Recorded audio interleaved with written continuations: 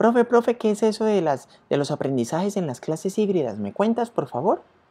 Hola, Tini Cerebrotes, qué bendición saludarlos. Sí, recuerden, las clases híbridas las venimos haciendo desde hace un tiempo y fue la gran novedad de este 2021. Es esta clase en donde nosotros estamos en clase normal, pero hay dos audiencias, ¿no? Entonces tenemos aquí los estudiantes en vivo, que son los cuadritos rojos, los voy a colocar de color rojo, y en este lado, o en el techo, o en un lado, o en el otro, tenemos en amarillo los estudiantes que están en la cámara, los estudiantes que están en la videollamada, puede ser Meet, Zoom, Teams, Skype, la que quieras. Estos estudiantes de acá están en presencial y estos están en clase remota, pero comparten la misma clase, tal cual. Entonces, las tres cosas que, creo yo que debemos tener muy en cuenta para este momento que se nos aproxima, que es el 2022, en donde ya creo que todos los países vamos a entrar en forma a hacer este elemento, son las siguientes. La primera, no olvidarnos de que tenemos dos grupos, es la mayor queja que hemos recibido sobre todo de parte de los papitos de familia. Cuidado con esto, profes. Usted tiene que mirar acá y tiene que mirar allá. Y si se para o se sienta o como se mueva, debe estar claro de que hay dos audiencias, pero es el mismo mensaje. Es esta audiencia de acá y esta audiencia de acá. Entonces recuerde cómo llevo el audio, cómo llevo la cara, cómo miro, cómo pongo mi perfil, cómo me paro, si me están viendo, si no me están viendo, si me están viendo pequeño cuando comparto pantalla, si me están viendo grande cuando anclan, todo eso, si están viendo la pizarra, todo ese cuento, que es toda la técnica de clases híbridas que tanto hemos hablado aquí en Cerebrote, es el número uno. No te olvides de que tienes un estudiante en casa que es igual tal cual la misma clase del que está en el aula.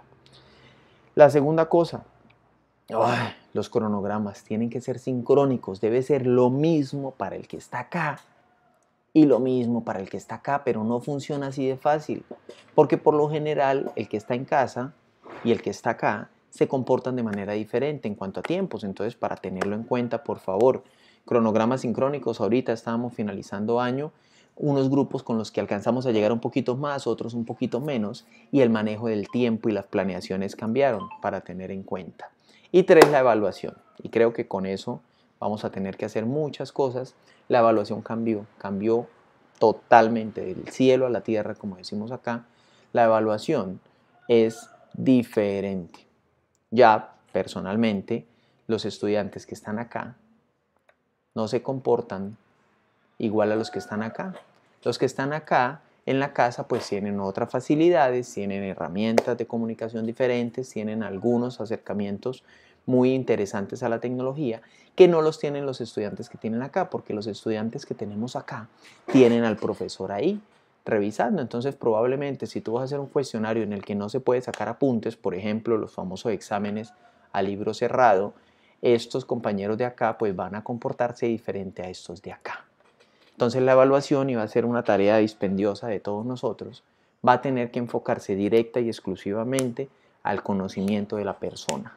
Vamos a tener, queramos o no, que hacer evaluación que realmente sea cualitativa, que mida el proceso de enseñanza-aprendizaje. Y en eso hay que mirar mucha teoría, hay que mirar mucho, mucho, mucho y sobre todo para las cantidades de trabajo que hay, porque no es lo mismo evaluar a 10 personas que a 50, 40. Hoy me reunía con unos profes de Perú, grupos de 30, y me reuní ayer con unos profes de Colombia, grupos de 50. Entonces no es lo mismo cuando yo quiero hacer cualitativo a 30 que a 50 y a todos nos dan el mismo eh, horario para eso. Yo soy Luis Fernando, esto es Cerebrote, me alegra muchísimo que estén con nosotros. Si tienen dudas, preguntas de clases híbridas, estamos cerrando este 2021 y nos vamos a venir con todo, como ya lo han venido viendo, el análisis esta semana terminaremos hablando un poquito más de herramientas tecnológicas y la otra se nos viene lo mejor del año, un video cada día de la semana final del año explorando todo. Por eso quiero que te suscribas y quiero que nos acompañes aquí desde Cerebrote como siempre con las manos llenas, llenas de conocimiento, buscando siempre lo mejor para nuestros niños y para nuestra Latinoamérica que tanto amamos. Hasta pronto, somos Cerebrote.